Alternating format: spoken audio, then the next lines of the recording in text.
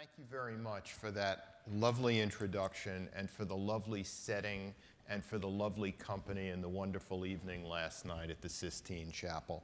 It was, it was all uh, really extraordinary and memorable. Um, let me start out my talk by saying this. We avoid tragedy by thinking tragically. Uh, and uh, much of what I say is going to seem negative, but it's really about the fact that we live in a world where there is more and more uncertainty. It's not necessarily headed for disaster, it just means it's a more complex, anxious, fraught world uh, than ever before, where globalization and geopolitics, rather than be in contradiction, actually reinforce each other um, because now every place is interrelated to every other place as never before. So that, um, so, so that you have geopolitics, the battle of space and power operating, um, it, uh, operating at a, at a, more complex rate uh, than ever before. Now, let me start this way. 22 years ago, I published a cover story essay in the Atlantic Monthly called The Coming Anarchy. And that laid out a, an argument that resource scarcity, environmental security change, sectarianism, tribalism, the rise of demographic male youth bulges um, in the Middle East and Africa, uh, and so on, and, and the interrelationship increasingly of war and crime would lead, uh, would lead to uh, the politi more political fraying and fracturing of the planet. So that, um, so that states at risk would either weaken further or they would collapse. And I named a number of West African states, all of which collapsed within the five years after the article was published. And the article was too negative, frankly, because a lot of good things have happened in the world as well. Uh, what I'd like to do is sort of update that article over the next 30 minutes. Um, and what is it that we're seeing when we see collapses in Libya, Yemen, Iraq, uh, Iraq, Syria, crises in Europe, in, in, in Asia, the South China Sea? What's really going on here? If we take a few steps back from the media and look at it, I, I would believe that we live in what I call a post imperial moment. Uh, and an age of comparative anarchy. That just means more anarchy than we've been used to in the Cold War and the post Cold War. It does not mean total anarchy. Let me get into specifics about all this. The post imperial moment. We've been brought up in schools and colleges to believe that imperialism is evil that it's, the, that it's the original sin that the West inflicted on what was called the, the developing world. In fact, as Oxford scholar John Darwin writes in a path-breaking book, After Tamerlane, empire has been the default mode of human political organization since the dawn of history. Uh, and empire merely means government, government from a central so source over a vast land area composed of different ethnic and religious and, uh, and other groups. Um, before, before the European empires, you had a number of empires in Africa, the Sung, the Mali, etc. You had Indian and Chinese empires going back thousands of years, the same with Persian empires. And essentially, as Darwin lays out, the Cold War was imperialism by another name, whereby the Soviet Union and the United States were not officially uh, empires, but they up, but in a functional sense, their challenges and frustrations were much like that of empires in the past. Now, at the end of World War I, the Habsburg and Ottoman empires collapsed in Europe. And again, the Habsburg and Ottoman empires protected minority rights and provided for a degree of civility that did not exist in the uni-ethnic states that would replace them between the two wars. So you had the collapse of those two empires after World War I. After World War II, you had the start of the collapse, which would take about 15 years, 20 years afterwards, of the British and French empires throughout Africa and, and Eurasia. And then in 1991, you got the collapse of the Soviet Empire. And since, um, and, and since the last decade, you see the weakening or, or at least a more, uh, you know, a, a, a more deliberate, cautious attitude on the part of the only great power left standing that operates on an imperial dimension, shall we say, the United States of America. Now, when the British and French empires collapsed in the Middle East and elsewhere, you did not have the breakdown of states. What happened? You had what I call post imperial strongmen. People like Muammar Gaddafi, the Assad family, Saddam Hussein, Ali Abdullah Saleh in Yemen, and, and others. And they operated according to the borders artificially created by empires. And then because those borders were averse to ethnic and sectarian borders, they had to erect secular state identities.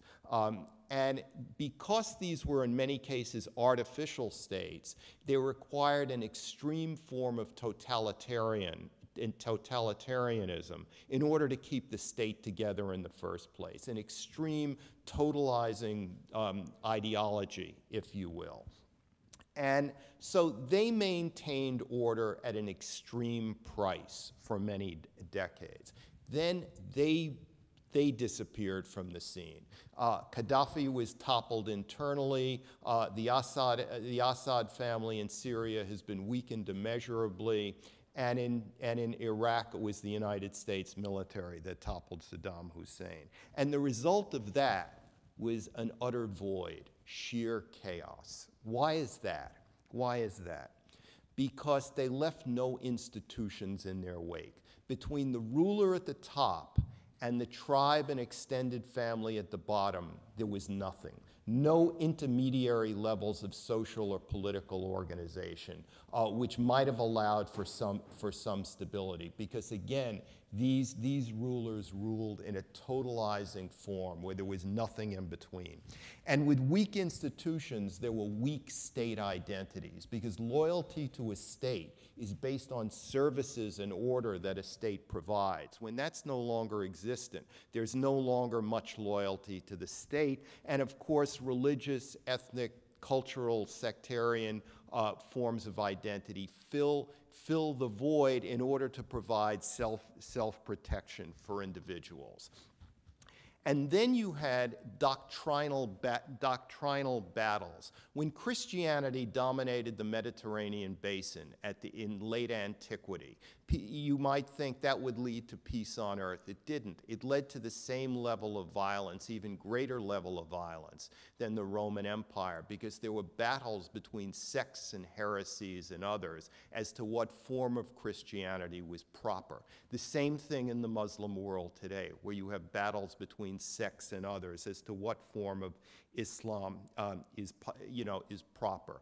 So that's basically why the Middle East is the way it is today. Now, dividing up the Middle East further, before I go on to other areas of the world, you have what I call age old clusters of civilization Greater Carthage, Tunisia, Morocco, the Nile Valley, Egypt, which did have very well developed state identities and loyalties to states that transcended loyalty to religion or to sect. And this was because the state was not artificial. It had been an age old cluster of civilization going back to antiquity. But places like Libya, Syria, Iraq were really vague geographical expressions. Sure, they had been great civilizations in history, but not, not organized in, within the same borders or the same coherency as Tunisia, Egypt, and Morocco and others. And that's why at root, uh, age-old clusters of civilization like Morocco, Tunisia, and Egypt required much more moderate forms of tyranny than the kind you found in Algeria, in Libya, in Iraq, and Iran. Because they were artificial, they had to be governed in a more extreme manner just in order to hold it together. And then we have um, the United States, which during the Cold War and for a decade or two afterwards was able to project power very efficiently by working through dictators. One phone number, one fax machine, one email address, et cetera, to deal with crises. Court diplomacy still operated. You, you know, there was a crisis in, in, in Egypt, you dealt with Hosni Mubarak or Anwar Sadat or whoever it was. Crisis in, in Tunisia, uh, Habib Bourguiba or Zine El Abidine Ben Ali or whoever it was. But with the breakdown of dictatorships, counterintuitively, it, ma it made it harder for the United States to project power throughout the Middle East because even though these places became nominally more democratic for a time, it meant that there were dozens upon dozens of actors whose points of view had to be taken into account, whereas before there had just been one, and it made diplomacy and power projection similar so that the United States finds itself limited in a more complex world where, it, where, Ameri where American influence is just not what it used to be. And we'll get back to that a little bit later. Um, now, in the Middle East today, before moving on to other areas, what do I see? I see the places that are the most coherent in terms of geography and in terms of history are the non-Arab great powers of Turkey and Iran. Turkey is synonymous with the Anatolian land bridge, Iran with the Iranian plateau. The Iranian plateau has hosted Persian language empires going back thousands of years. And, and Iran has a, has a deep civilizational sense of itself to the same extent as India or China. And therefore, is in a different category than the many artificial Arab states. So that um, Iran, and, Iran and Turkey may be politically troubled, Iran may go on as a, as a very, you know, extreme, dysfunctional, to some extent, grievance-driven regime that does not moderate, that does not reform, but still is basically coherent and stable uh, um, and exists. I say this because um, when you have a regime that has multiple centers of power, and not just two, but at least four different political persuasions or factions. Political scientists tell us that this leads to more of the same rather than to an upheaval. It's a stability, though, of a very calcifying sort. Um, I like to say that Iran is permanently stuck in the Brezhnev phase of its revolution. Um, Turkey also will go through domestic unrest, changes, but it will always exist as a state. It's, and the same with Egypt, by the way. Um, it's, it's harder to say that about their Middle Eastern neighbors. Um, Saudi Arabia is no longer the global swing producer for hydrocarbons the way, to the degree that it used to be, now with the shale gas revolution in the United States and, and other factors. Saudi Arabia does not cohere with the Arabian Peninsula nearly to the extent that Turkey coheres with the Anatolian land bridge or Iran with the Iranian plateau. So it's an artificial state going back much shorter in time than Turkey or Iran. And Turkey and Iran have real imperial traditions which still function psychologically, be it Ottoman in Turkey's case or whether it's uh, you know the various um, the various um, empires in Iran, Achaemenid, Safavid, and others, um, so that um, the real the, the, the real question going forward in the Middle East is what regime will last the longest and, be, and prosper the most, the one in Tehran or the one in Riyadh? Because we've seen the collapses of a number of Middle Eastern states, but it hasn't really affected global financial markets or other global business to, to, a, to a profound extent that really leads to upheaval. Those collapses have been factored in, so to speak. But were the regime in Saudi Arabia to undergo real upheaval or really stagnate that could change things. I'm not predicting Saudi Arabia's collapse. I think the House of Saud has been altogether brilliant in the last 35 years in many ways, of, you know, of, of ruling a society that's gone from a primitive level to a postmodern level while still maintaining rule through, through a family of about 1,500 people who, because they're so large, are basically their own in, inbred intelligence agency with links to all the different factions in the kingdom. Going on to Asia. Asia is the inverse of everything I just said. Um, what I've been talking about for the last 10 minutes has been the, uh, the weakening of states, the weakening of artificial states. In Asia, the, uh, the geopolitical uncertainties in the South and East China Seas have mainly been due to the strengthening of states. Um, China, look at the Cold War, the second half of the Cold War, and the period for, uh, you know, immediately afterwards. What did we have? We had China internally focused. First with Mao Zedong's de uh, depredations, the Great Leap Forward, the Cultural Revolution. Then with uh, Deng Xiaoping's um, economic modernization and development, the, uh, the, you know, the new economic mechanism. One bad, one thing good, but both internally focused. You had Japan in a state of quasi-pacifism due to its disastrous experience with World War II militarism. You had Vietnam and what is called now Malaysia, internally focused with civil wars and communist insurgencies.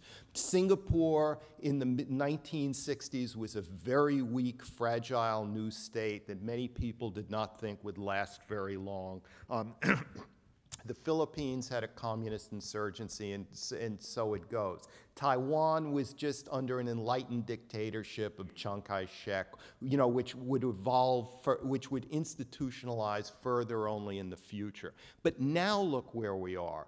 All these states have strongly institutionalized um, and have been, you know, and, and, are in a much more coherent state. Um, China shows the lesson that pseudo-capitalist or capitalist success over many decades steady leads to a number of things, but it also leads to military acquisition and, moder and moderniz modernization. Because pseudo-capitalistic or capitalistic success over that long a period, a third of a century, leads to trading relationships throughout the world, leads to interests throughout the world that have to be defended. Then issues of status come into it. And with issues of status, a nation quite naturally wants to develop a great military. This is not that different from the pattern that happened in the United States between the end of the Civil War and the outbreak of the Spanish American War in 1898 when the United States announced itself as an imperial like great power.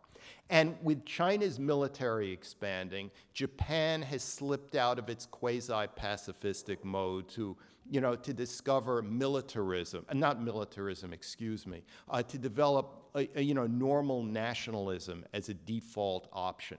Vietnam and Malaysia are now, uh, are now at peace. They've been at peace for decades. They're, much, you know, they're, they're internally secure. So what do they do? They build navies and air forces, uh, you know, in order to counter the Chinese military growth. And has and, and Singapore has become this Israel-like military dynamo in the center of the South, at the south, south, southern extreme of the South China Sea.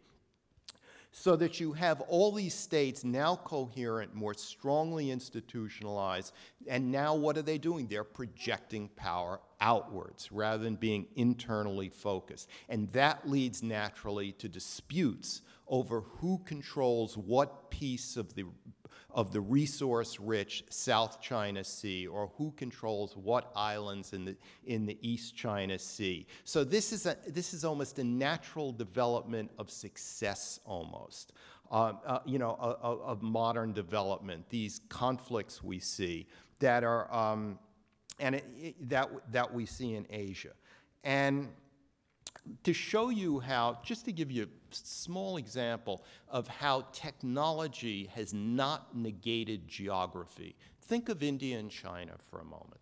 India and China, for most of their history, had very little to do with each other. Two great civilizations developing separately, separated by the high wall of the Himalayas. Yes, Buddhism spread from India to China, and the Opium Wars brought them both into a system of, uh, uh you know, into a system of, of conflict.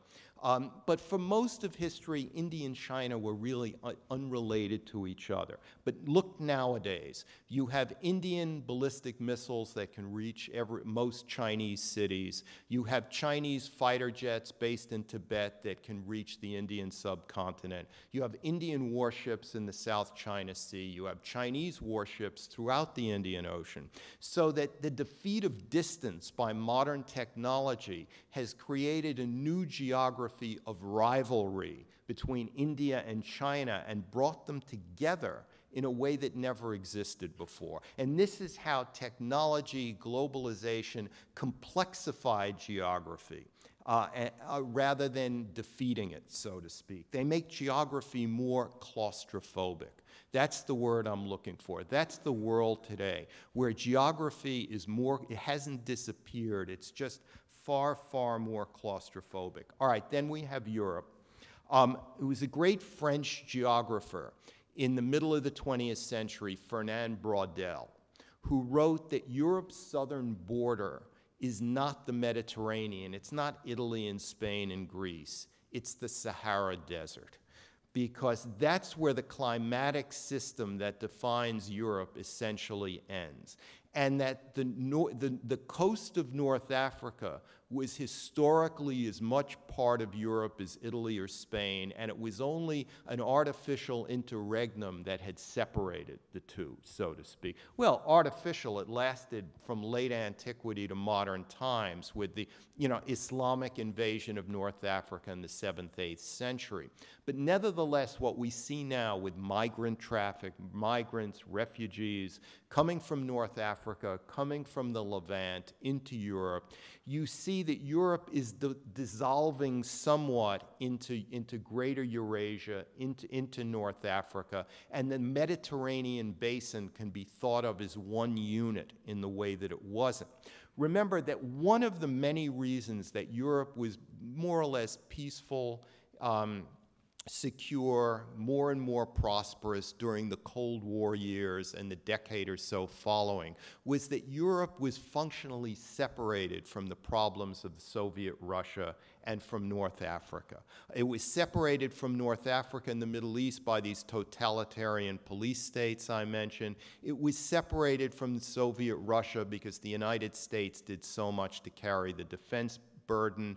And even after the Soviet Union collapsed, Russia was in a state of internal disarray for a decade or more, and you know, which which also made it less of a problem for Europe. Those days are over, and Europe now faces an integration of sorts in terms of a in terms of in terms of human traffic, a conflict system uh, with the rest of Eurasia, with Africa to an extent it hasn't before, and also if you look at the population growth rates of Africa, sub-Saharan Africa, and those of Europe, you see that the refugees may just be the tip of the iceberg in terms of um, pressure from migrants that are going to come over the next few decades. Because even though world population growth is declining. It's declining at a slower rate in sub-Saharan Africa than it is elsewhere, and is therefore rising at a much higher rate than Europe. And of course, I don't need to tell you that with the different reactions to the refugees, we have pressure on the Schengen, the Schengen border area. So divisions are coming up through Europe from within. Um, rather than see the collapse of the EU or some catastrophic scenario, I think one of the best analyses that I've read about what's starting to transpire in Europe was written by a scholar at St. Antony's College in Oxford, of Polish descent, Jan Zielonka.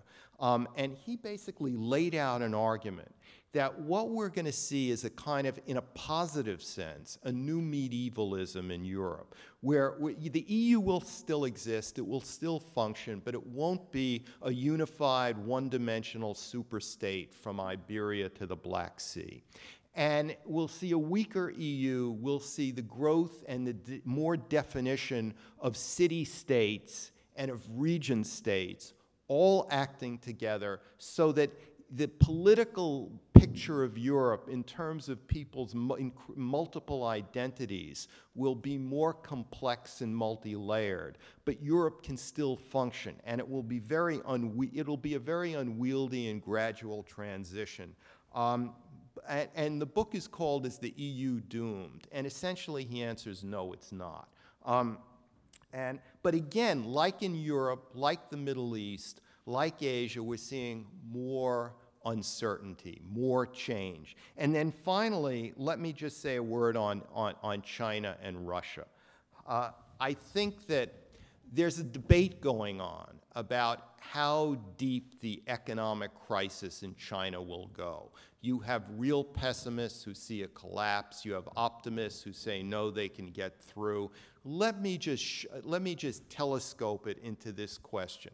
For the last 35 years, we've had essentially non-charismatic, collegial, risk-averse technocrats running China. Um, uh, and because of that, um, Chinese foreign policy towards China, from the United States at least, has been fairly bipartisan without the battles, the ideological battles you see in Washington over the Middle East or some other areas of the world. In other words, China was predictable, uh, run by enlightened, dull, enlightened authoritarians, is good a, as good a situation as you could as you could practically get uh, you know, given the diversity, the unwieldiness of China, which extends from the coast of the Pacific deep into East Turkestan, part of Central Asia, and because China is also, to a lesser extent than the Soviet Union, a prison of nations, with ethnic Uyghur Turkic Muslims, with Inner Mongolians, with Tibetans, uh, who are uh, who can become very who might become more and more restive if we see a deepening economic crisis. I would say that the next 30 years in China are not going to be as easy for the West as the, as the last 30 years. And we're already starting to see it. You're starting to see a more charismatic, central leader emphasizing more central control, a cult of personality building around him uh, in, in order to face off against the domestic challenges. Uh, the, um, the anti-corruption drive is that, but it's also a great purge of, of the leader's enemies, uh, or what he thinks may be his opponents. So the domestic situation in China is going to become more fraught and that could lead to a more aggressive Chinese foreign policy in the South and East China Sea. Because one of the ways you deal with domestic disarray of sorts is, with, is, by, is, by, you know, is by an appeal to nationalism. Um, Russia, too.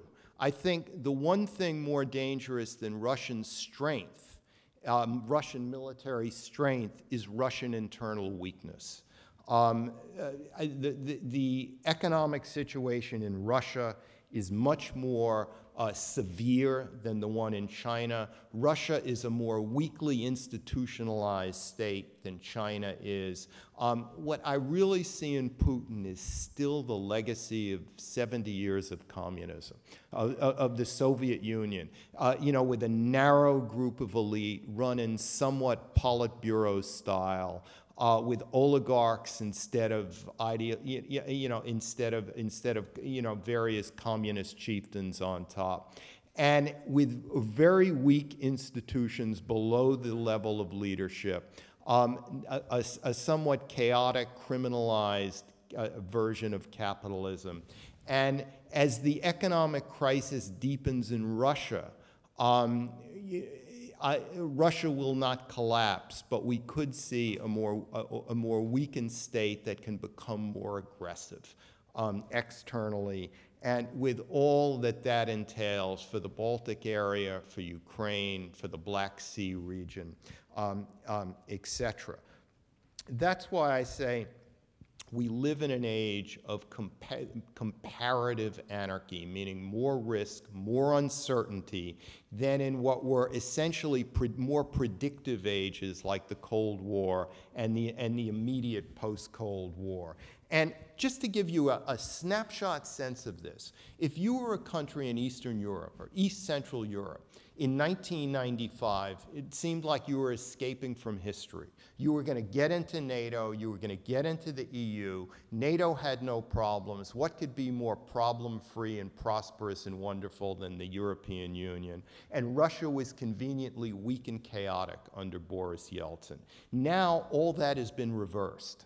Um, uh, NATO is more uncertain. The EU has tremendous problem, structural and institutional problems, and Russia is no longer weak and chaotic and is, and is a threat again. Uh, so it's almost as if history, you, there, uh, you, you didn't leave history to begin with. You just had like a 15, 20 year hiatus. And let me just conclude with a word or two on the United States. Um, the United States um, is go, you know, has had unimpressive economic growth the last eight years or so. It's, it's, it's uh, technically close to full employment statistically, but most of the jobs created, or many of them, have been low paying part time service jobs.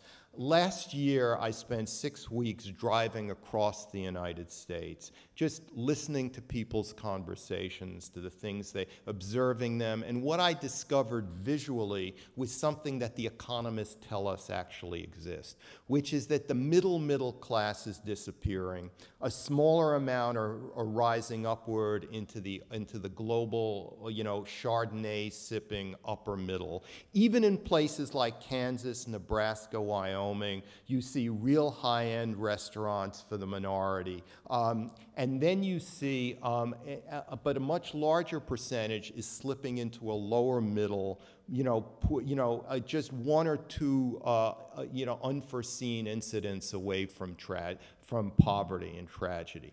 And so, is the middle class phrase in the middle middle, you really have a question about U.S. leadership. Because undergirding the support for a 300 ship navy which guards the sea lines of communications, the choke points, you know, the numbered air forces, uh, you know, the large army that allowed for, large army and marine corps that allowed for various interventions, bad and good. Um, you had a quiescent middle class that essentially un- underwrote this and said, don't give us any more 9 11s, but don't give us any more Iraq wars. And anything in the middle of those two extremes is okay, and we're not interested in. Um, it was amazing the lack of discussion of foreign policy in Middle America. Even on the day that the Iran Accord was first initialed, nobody cared or was talking about it. And because the middle middle is fraying, this really creates questions about US, US leadership going forward in terms of the size of its Navy, Air Force. Um, different presidents have different, you know, different proclivities. You could may well get a new president in the United States that's much more activist in foreign affairs, much more uh, power projection oriented than President Obama has been. It also may be the case that President Obama's so called hesitancy to project force is part of a, a sea change in American foreign policy that will transcend his administration, whatever may be said in the campaign um, by either candidate. So, again, I'll leave you here with a lot of questions, not many answers. The world is not coming apart, but it is more and more fraught, anxious, uncertain, and claustrophobic than it's ever been.